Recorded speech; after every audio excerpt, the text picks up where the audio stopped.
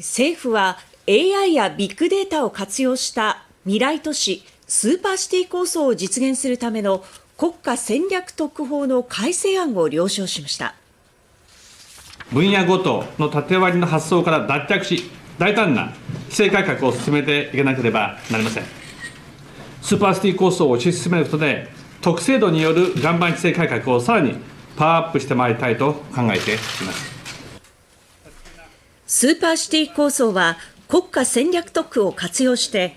小型無人機、ドローンを使った配送やキャッシュレス決済など先進的な取り組みを目指しています。